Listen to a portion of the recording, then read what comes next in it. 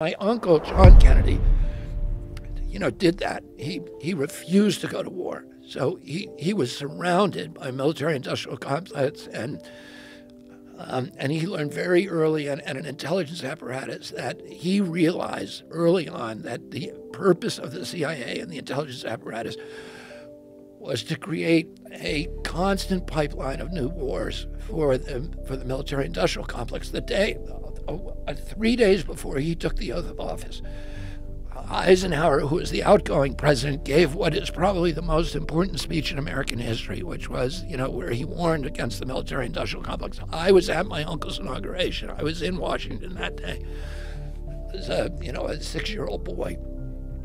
And I was sitting on the stands behind him, during, in front of him during his inauguration. And he understood that. And two months later, the military and intelligence came to him and said, "We got to, uh, we got to invade Cuba."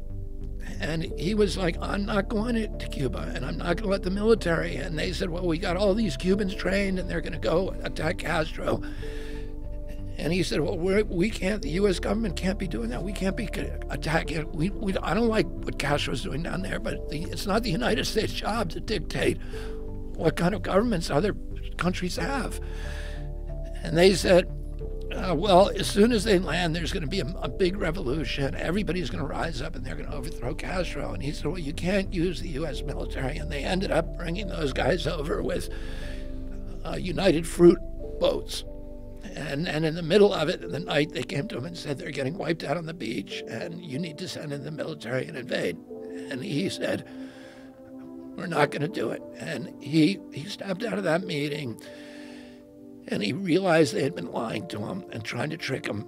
And he said, I want to take the CIA and shatter it into a thousand pieces and scatter it to the winds. And, um, and then, you know, for the next thousand days of his presidency, he was at war with his military and, and, and intelligence apparatus. They tried to get him to go into Laos. He said no. They tried to get him to go into Vietnam with combat troops. They said that we need 250,000 combat troops.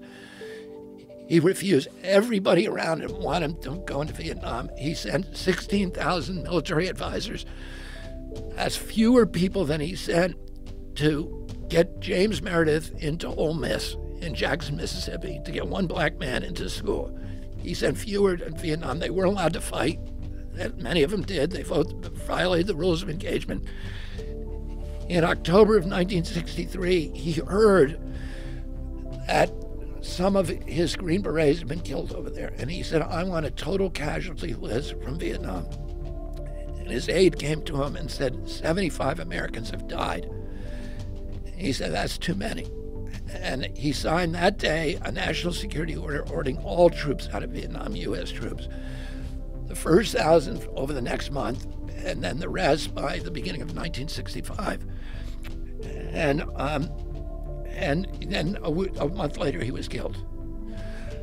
So, um, but what his view was is that he believed that the view of Americans abroad should not be, you know, a soldier with a gun. It should be a Peace Corps volunteer building, you know, wells, and it should be USAID helping poor people, and it should be Alliance for Progress building middle class.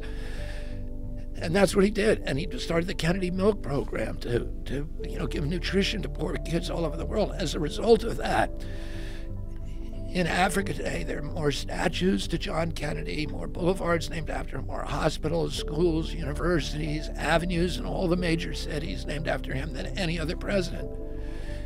And that is the, the, the, the, the Chinese have taken that template and done the same thing now. And they are, you know, all these countries that were supposedly allied with us are now realigning with the Chinese and they're switching to their currency because the Chinese are not there to kill people. They're there, you know, to, to build roads, to build universities, to build colleges. And it turns out that people like that a lot more. And, you know, we should be projecting economic power around the globe and not military power. It will make us much stronger. But what do you think happens when you get into office? like if you're you're you're talking about your uncle who's assassinated and you believe the intelligence agencies were part of that what happens to you well i got to be careful i mean i'm aware of that and i'm not you know i i'm aware of the of that danger. And uh, you know i don't live in fear of it um, you know at all. But i'm not stupid about it and i take precautions